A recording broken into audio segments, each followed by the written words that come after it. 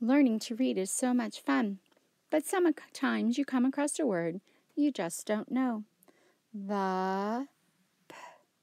Whatever could that word be? You may know each sound. P,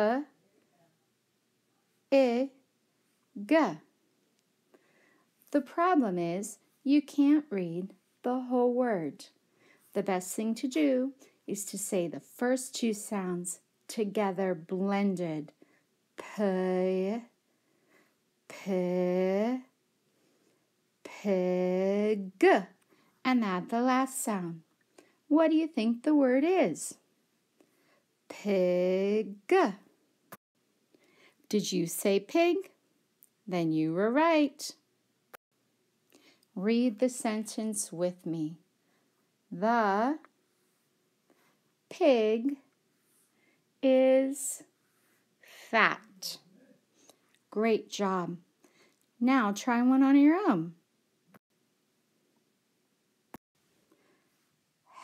Ha, hat. If you said hat, you were right. Read the entire sentence now. The hat is purple. See if you can try the next one. Law, log, log. If you said log, you were right. Try to read the whole sentence with me. The log is brown. Whatever could this word be?